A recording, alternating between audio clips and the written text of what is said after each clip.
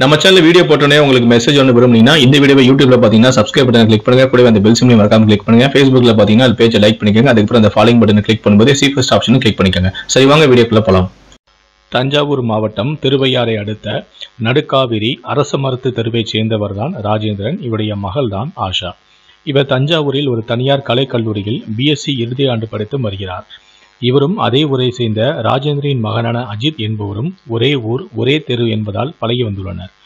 Ajith electrician வேலையும் car mechanic வேலையும் பார்த்து வருகிறார்.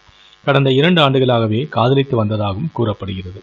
இந்நிலையில் தான் அஜித் அடிக்கடி குடித்துவிட்டு வேலைக்கு ஏதும் செல்லாமல் இருந்ததால் ஆஷா அவரை கண்டித்தும் உள்ளார்.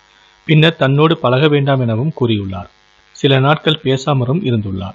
இதனால் நேற்று காலை ஊரில் இருந்த ஆஷா கல்லூரிக்கு அரசு பேருந்தில் தஞ்சாவூர் பழைய பேருந்து நிலையத்திற்கு வந்தார்.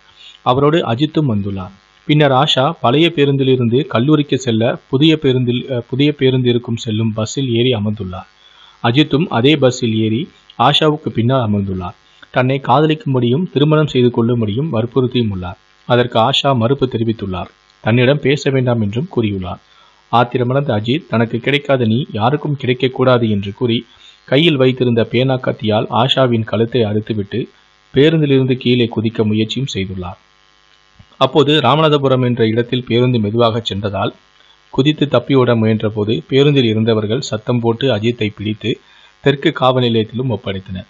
பேருந்தில் ரத்தம் சொட்ட சொட்ட வெளியே வந்த ஆஷா உடனடியாக தஞ்சாவூர் மருத்துவக் கல்லூரி மருத்துவமனைக்கு சிகிச்சைக்காக அனுமதித்துள்ளனர். இது குறித்து ஆஷா கொடுத்த புகாரின் பேரில் அஜித்தை போலீசார் கைதும் செய்துள்ளனர்.